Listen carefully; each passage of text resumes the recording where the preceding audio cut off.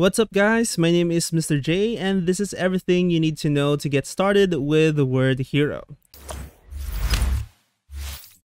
Whether you are new to WordHero or if you already have an account and you just want to know what this AI writing tool is capable of, then this video is for you. Once you log into our website, you are then greeted with our homepage. And as you can see here, we have over 60 different writing tools at your disposal. You can also see that we sorted them out into five different categories. We have business, marketing, social media, writing tools, and miscellaneous. Now, let's say you want to send a generic email to a potential client for your business. You can go to marketing, and as you can see, we have a tool called generic emails for that. You can also use our search bar to search for specific tools using keywords. So if you write an email, all of the tools that has the word email on them will be right right here on the screen.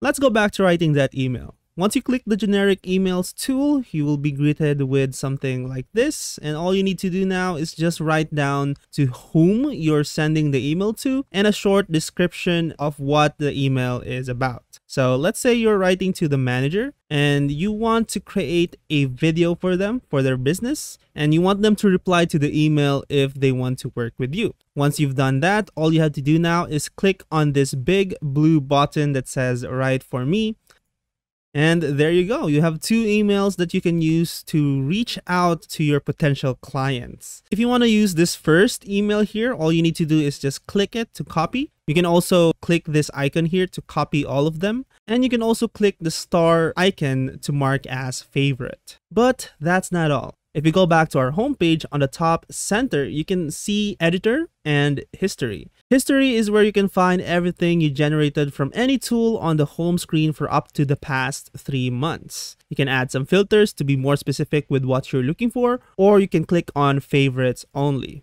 Remember the email that we marked as favorite earlier? Yes, this is it. So if you want to use this again in the future, then all you need to do is go here and look for this, click it, and then it's copied. Now, here comes the most exciting part. If you click on editor, you will then have access to the long form editor. This is very useful for users who mostly write longer form content like articles. Now, let's say on your blog, you want to talk about building a computer. So you put that as the title and maybe your first header is what you need to build a computer. So you have a title and now you have a header. If you want to write an intro for your blog, then all you need to do is click on blog paragraphs, which is this rocket icon here. And as you can see, it can write an intro for you from just the title or from a highlighted section header. Click on this one and it should write down a full intro for your article or blog.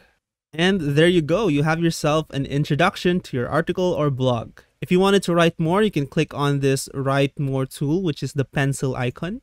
Or if you're satisfied with this already and you want to have an outline for your blog, all you need to do is click on this blog outline tool, which generates an outline from just the title. So our title here is building a computer. If you click on this, it should generate an outline for your blog. And there you have it. It has the introduction and all of the computer parts that you will need to build a computer. It also include a conclusion here at the bottom. So all you need to do now is just fill up this with your paragraphs. You can use the tools here or you can write your own and you can do all of that in our long form editor tool.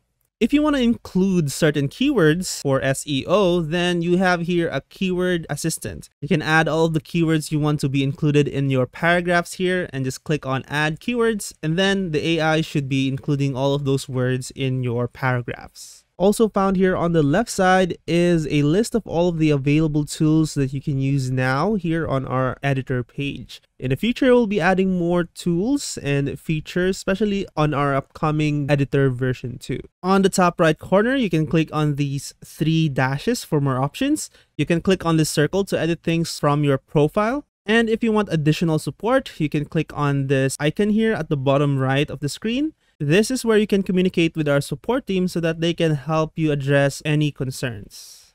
And there you go, everything you need to know to get started with WordHero. If you don't have a WordHero account yet, then what are you waiting for? Click on the link below this video and sign up for your WordHero account today.